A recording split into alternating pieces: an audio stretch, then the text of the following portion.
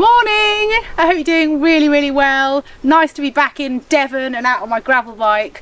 What I wanted to do today is talk you through some of the things that many people seem to do wrong when they get a gravel bike. So I guess it's a bit of a do's and don'ts video or just a don'ts video but essentially if you want to get better at riding your gravel bike or if you're a bit of a newbie to all this these tips should get you on your way.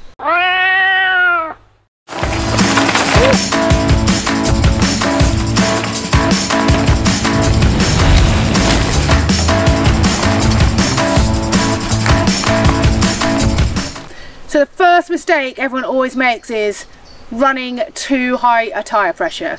So everyone seems to think that they want to keep their tyres pumped up really hard so that they go faster. But in actual fact, if you've got a little bit less pressure, then your tyre will conform to all the lumps and bumps a bit more and it will actually ro roll more smoothly.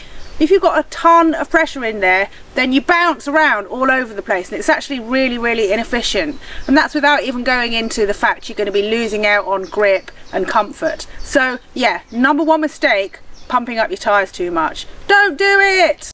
Next thing you should not do. Don't put your weight really far back when you're descending. This is like an old school mountain bike thing. Everyone's always like, when you're descending, weight back. That's not actually correct. What you really want to do is hinge at the hips so that your hips and your bum go back, but actually put your chest forwards. That way you're going to make sure that you still have your centre of gravity over the bike.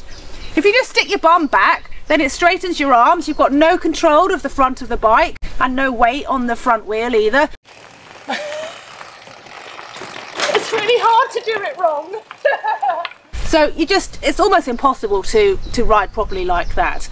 Really concentrate on hinging at the hips, chest forwards, eyes ahead. The next thing you should not do is ride kind of on your tiptoes. I see this a lot. Why do people do it? I don't know, but what you really want to do is drop your heels when you're descending because that's going to give you more traction and greater stability. So really focus on just driving those heels down. The next big mistake is trying to climb while standing up you're just going to get wheel spin. You really need to be seated for nearly all gravel climbs. When you're on something very, very steep, you want to kind of shift your weight forwards and sit almost on the tip of the saddle, and that's going to help keep your front wheel planted.